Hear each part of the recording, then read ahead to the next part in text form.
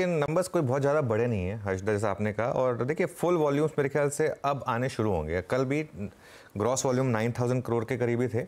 अब मेरे ख्याल से फुल वॉल्यूम्स आने शुरू होंगे मार्केट में। और डी ने करीब करीब 862 करोड़ भेजा और एफ़ ने करीब करीब 666 करोड़ भेजा। और मैं ना कई बार कहता हूँ कि मेरे खुद के कुछ एक इंडिकेटर्स होते हैं। जब भी आप इंडेक्स फ्यूचर्स ये खैर बाहर से आ गए एफ़ का सेल है डी का सेल है। और अब अगली प्लेट देखिए आप। इंडेक्स फ्यूचर्स और स्टॉक फ्यूचर्स का डेटा एफ़ का। इंडेक्स फ्यूचर्स में एफ़ ने 619 करोड़ बेचा और स्टॉक फ्यूचर्स में एफ़ ने 2832 करोड़ बेचा। जब भी चारों इंस्ट्रूमेंट्स में बाइंग हो, मार्केट अगले दिन नहीं चलता। और जब भी चारों इंस्ट्रूमेंट्स में सेलिंग हो और बड़ी सेलिंग हो, मार्केट अगले दिन चलता है। ये जैसे मैं कह रहा हूँ ना, कुछ चीज़ें होती हैं, बहुत लोग मुझसे पूछते हैं कि आप टेक्निकल्स देखते हैं या फंडामेंटल्स देखते हैं। मैं कहता हूँ, मेरे खुद के कुछ पैरामीटर्स होते हैं, मैं वो देखता हूँ। मैं, मेरे लिए एक पैरामीटर है कि कल सबने सेलिंग कर रखी है। और सब ये एक्सपेक्ट कर रहे हैं कि मार्केट गिरेगा। हो क्या रहा है? हर कोई ये एक्सपेक्ट कर रहा है कि मार्केट यहाँ से गिरेगा। और बस जितनी रैली होनी थी वो हो चुकी है। मार्केट ऐसे ऑब्लाइज नहीं करेगा। मुझे लग रहा है आज इसके लिए शॉर्ट कवरिंग मुझे लग रही है। एक और रीज़न बता देता हूँ मैं आपको। आप निफ्टी के लोज देखिए लास्ट तीन दिन के। वो एक बार इक्कीस छः सौ अस्सी मार्केट ने डिफेंड करने की कोशिश की, वो नहीं हुआ। उसके बाद इक्कीस पाँच सौ छप्पन पर आए और इक्कीस पाँच सौ पर आए। तो ये क्लासिकल निफ्टी ने लोअर लोज बनाए, लेकिन लेकिन इक्कीस पाँच सौ का जो लो है वो बहुत स्ट्रॉन्ग लो है। इतनी आसानी से नहीं टूटेगा ये इक्कीस पाँच सौ का लो। अगर टूट गया तो मैं कहूँगा मैं गलत हूँ। बहुत सिंपल है। तो ये तीन चार डेटा पॉइंटर्स हैं एक और चीज़ जो मैं सेटअप में जोड़ देता हूँ लगातार लॉन्ग्स बन रहे थे मार्केट में। आ, हमने 70 परसेंट से ऊपर से लॉन्ग्स की शुरुआत की थी।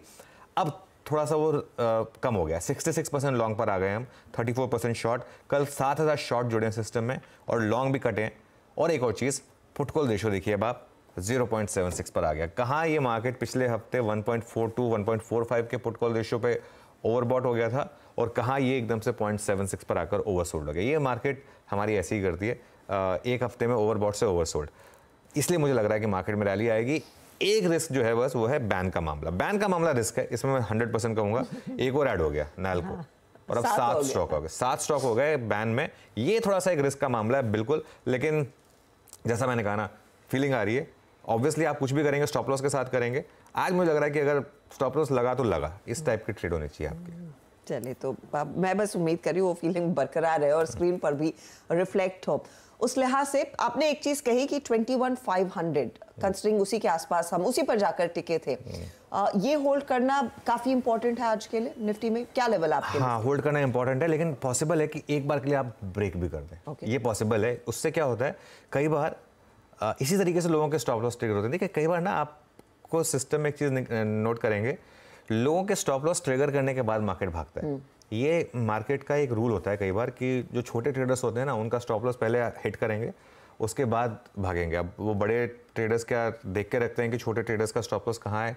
कई बार ये भी पॉसिबिलिटी होती है। तो ये सब चीज़ें होती हैं मार्केट में। इसके लिए मैं थोड़ा सा जोन दे रहा हूँ इंस्टेड ऑफ़ पर्टिकुलर लेवल पहला सपोर्ट है आपका ट्वेंटी वन फोर फिफ्टी से ट्वेंटी वन फाइव हंड्रेड कल का low twenty one five hundred पर twenty one five hundred put पर सबसे ज़्यादा ओपन इंटरेस्ट तो वो पुट फोर फिफ्टी तक तो होल्ड करेगा, कैसे भी करके। तो twenty one four fifty twenty one five hundred आपका पहला सपोर्ट है। अगर ये टूटे और इसके नीचे हम बंद होने लगे ना तो मुझे लग रहा है कि वो जो बड़ा सपोर्ट है twenty one two thirty eight two twenty one three twenty two उसकी तरफ़ हम बढ़ सकते हैं, जो कि आपका twenty day simple moving average और twenty day exponential moving average वहाँ पर प्लेस्ड है। तो मेरी अप्रोच क्या रहेगी आज के लिए? थोड़ा सा बहुत थोड़ा सा टेन परसेंट ट्वेंटी परसेंट अगर मार्केट ग्रीन में खुल रहा है तो वो वहाँ पर बाय करने की कोशिश करें और उसके बाद ऐड करने की कोशिश करें twenty one four fifty to twenty one five hundred के जोन में और एक स्टॉप लॉस लगा दें ट्वेंटी वन फोर हंड्रेड का मतलब twenty one three eighty three ninety के आसपास उसको एक स्टॉप लॉस लगा दें। ये ट्रेड मुझे लग रहा है कि आज आपके लिए अच्छा एक रिवॉर्ड रिस्क लेकर आ रही है क्योंकि यहाँ पर आपका करीब करीब सत्तर अस्सी पॉइंट का रिस्क है। लेकिन मेरी फीलिंग है कि आज मार्केट में सवा सौ, डेढ़ सौ पॉइंट की रैली आ सकती है तो लोअर लेवल से तो और भी ज़्यादा रैली आ सकती है। तो ये इसके कारण एक रीज़न है। लेकिन अगर मार्केट उसको हमको ओबलाइज नहीं कर रहा है और हायर लेवल से स्लिप कर रहा है, अगर हायर लेवल से स्लिप कर रहा है मार्केट और रिकवरी फेल हो रही है तो शॉर्ट भी करें, उसमें कोई दिक्कत नहीं है डे हाई का स्टॉप लॉस लगा लें उसमें। लेकिन जैसे मैं कह रहा हूँ ना, आज मैं ज़्यादा फोकस जो है मेरा, वो लॉन्ग साइड पर, तीन चार दिन तक मैं कॉशियस रहा अब मैं थोड़ा सा वापस पॉजिटिव होने की कोशिश कर रहा हूँ। ओके okay, तो फिर बाज़ार शायद आपको हल्के करेक्शन के बाद और हल्का ही है अगर आप देखें पिछले तीन ट्रेडिंग सेशंस में जो हुआ है और उससे पहले जो मार्केट में रैली देखने को मिली है आपने फिर पोजीशन थोड़ी सी पॉजिटिव साइड पर रखनी है फिर उसके बारे में सोचना शुरू करना है। निफ्टी बैंक अनुज कंसिडरिंग कल निफ्टी बैंक रेजिलियंट था लेकिन निफ्टी बैंक में एक ही दिक्कत थी जिस तरह से एचडीएफसी बैंक नीचे आ रहा था बाकी सब संभले हुए थे। हम्म। तो क्या एचडीएफसी बैंक और ड्राइव कर सकता है दबाव या फिर अब यहाँ से मौका है फिर खरीदारी का? बिल्कुल हंड्रेड परसेंट आपने बिल्कुल जैसे ना hitting the nail on the head कल एचडीएफसी बैंक ने बैंक निफ्टी गिराया। बैंक निफ्टी की दिक्कत यही है कि एक दो स्टॉक का ही पूरा का पूरा इम्पैक्ट हम्म। है। कल ये मैं वीरू के साथ भी डिस्कस कर रहा था। लेकिन एक इंटरेस्टिंग चीज़ हुई H D F C bank कल डील ओवर बंद हुआ। बैंक निफ्टी कल एक्चुअली ऑलमोस्ट डे हाई पर बंद हुआ। हम्म। एक बार इंटरडे बैंक निफ्टी का भी रख दीजिए आप। और H D F C bank देखिए कल यहाँ पर बंद हुआ और एच डी बैंक निफ्टी देखिए डे हाई पर बंद हुआ। एक बार H D F C bank का मुझे टेक्निकल चार्ट दिखा दें अगर तो एक बहुत इंटरेस्टिंग चीज़ है। पिछले महीने 12 परसेंट की रैली के बाद अब इस करेक्शन में कल H D F C bank twenty days simple moving average पर बंद हुआ। ठीक है? ये ट्वेंटी डी में पॉज लेने की तैयारी कर रहा है या नहीं? रैली में ये इंटरेस्टिंग होगा। यहाँ पर हम देखिए देखिए आप बिल्कुल जो ब्लू लाइन है वो ट्वेंटी डे मूविंग एवरेज है। एग्जैक्टली वहाँ पर जाकर इसने एक कल कल रुका है। तो ये इंटरेस्टिंग हो सकता है। अब आते हैं बैंक निफ्टी पर। मेरे ख्याल से बैंक निफ्टी के कल के मूड के मूव के बाद मुझे लग रहा है कि थोड़े से साइन हैं बॉटम बॉटमिंग आउट के। तो 47,450 टू 47,500 ऑप्शंस के हिसाब से ये जोन है। यहाँ पर मुझे लग रहा है कि सपोर्ट मिलेगा प्लस कल का लो भी प्लेस है यहाँ पर बैंक निफ्टी का। और बड़ा सपोर्ट है बैंक निफ्टी का 47,300 टू 47,400 20 डे में। देखिए कोई भी इंडेक्स जो एक बड़ी रैली में हो तीन चार हज़ार पॉइंट की रैली देखी हमने बैंक निफ्टी में वो इतनी आसानी से ट्वेंटी डे में नहीं तोड़ेगा। तो इसके लिए ये एक और रीज़न है कि इन लेवल्स पर मैं बैंक निफ्टी पर नेगेटिव नहीं होना चाहता हूँ।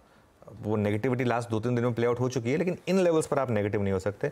अगेन मेरी अप्रोच यही रहेगी कि आप बाय करने की कोशिश करें 47 600 टू 47 700 के जोन में और ऐड करने की कोशिश करें 47 500 टू 47 600 के जोन में और एक स्टॉप लॉस लगा दें 47 400 का बैंक निफ्टी पर।